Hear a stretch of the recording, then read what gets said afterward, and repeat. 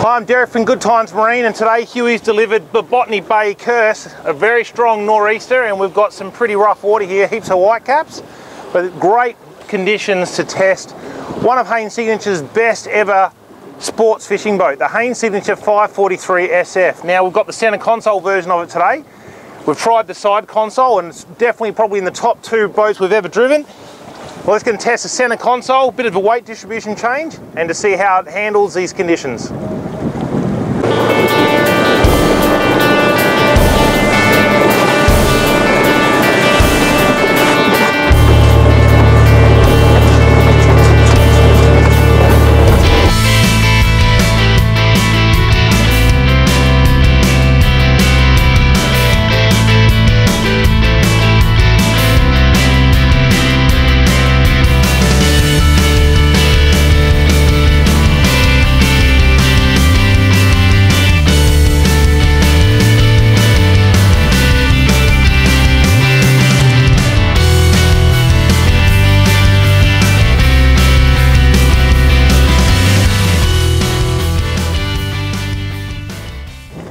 Really not sure how to describe that experience because I'm just so happy. It was just unbelievable.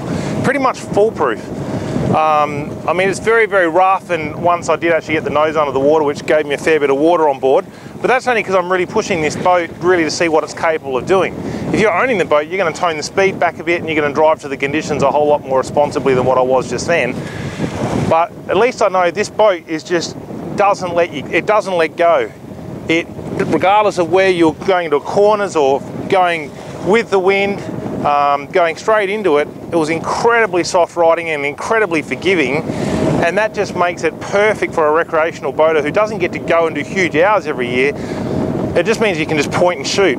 That's probably the best way to describe the original carnation of the 543, which was in the Cuddy. And you know, there's so many of those have been sold now over the years that boat was considered a pretty much a foolproof boat, point and shoot, just get in it, go where you wanted to go, and you didn't have to be a gun driver to be able to get the best out of the hull. It was very, very forgiving, was always going to get you there. Well, now that I'm just trying to calm down the adrenaline from that, that drive out there, let's have a look at some of the features that are, are put into the centre console version of the 543 SF. Whereas with the 543 SF, you go for the side console, you don't have to have the front casting deck in it. But with the 543 SF center console, the console is integrated into the casting deck, so the casting deck comes as a part of the package. 543 SF comes with a, a, maximum 150 engine on the back. Now we recommend the 150 because it's an absolute powerhouse from Mercury, the four stroke. Um, but certainly a 135 still delivers plenty of fun and if you wanted to go down on 115 the 115 will still push this boat along quite nicely and give you a, a, a reasonable performance. Well the centre console version of the 543 is an absolute winner. For me it probably is just that little bit better than what the side console is but I have a, a passion for centre consoles so having that full access all the way around and uh, the amazing feel of being able to drive one up with the centre central position, balanced position for driving it is an absolutely fantastic boat and thrilling boat to own and to drive. Comes in, it's a 5.4 metre boat and it sits nicely on a tandem axle but it will squeeze onto a single axle providing it has that heavy duty axle rating. It Has a beam of 2.14 which is you know slightly on the narrow side for a boat of this length but that slight narrowness is what makes this boat such an incredible handling boat through the rough conditions.